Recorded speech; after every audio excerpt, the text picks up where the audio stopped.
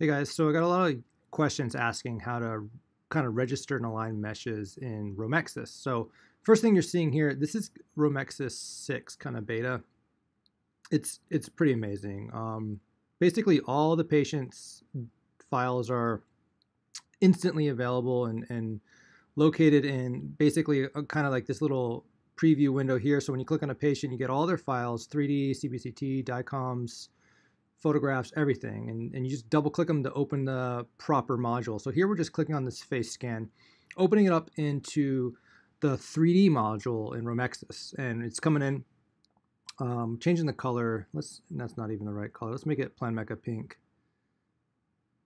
There we go.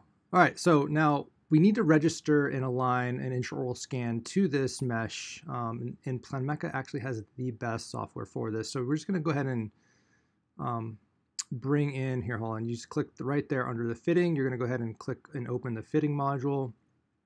And it's kind of designed for bringing in two face scans and, and comparing them. But you pick any any two models, STL files, um, and then these these two models are not aligned. And you're just going to paint kind of a common area on one model and then paint a common area on the other model in this case the intraoral scan, and then hit fit. And it's going to go through a, a really sophisticated iterative best fit alignment, and you're going to get a color coded match, and that's it.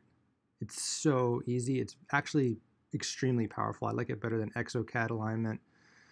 And what you're going to do from here is you're just going to go, because it's open, right? You're just going to go up to export and save each one of these as a STL file. And then you could open up in any software like even PlanCAD Easy and start waxing the case up with the patient's file, smile um, right there, like we're going to show at the end of this video. Um, you could do anything. You could register those meshes and you could even then save them as one STL file and then register more meshes to that. It's just a really cool feature that I don't think anybody really knows about.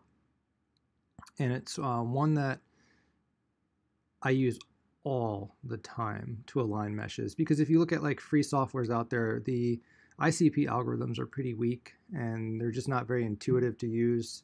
I'm thinking of Mesh Mixer, Mesh Lab, um, all those types of programs. Blender doesn't even have an ICP, so just something something for you guys to use if you have this. Um, I think it's it's underutilized for sure. So once again, exporting each one of those individual files. Now let's check and see if it if they open up in another software uh, registered and aligned together. So we're just going to go ahead and open up the face scan first from the saved STL export right out of Romexis, and we're going to see real quick when we bring that in that it's just a standard STL mesh. Um, now you can do PLYs as well. You could do OBJs with Romexis being completely open. You could do anything with Romexis, obviously. Now we're going to bring in the exported intraoral scan, we're going to see if they come out aligned perfectly, just like they see. So just like they were from Romexis. Very nice. Love, love, love this. Underutilized. People just don't really understand the power of Romexis.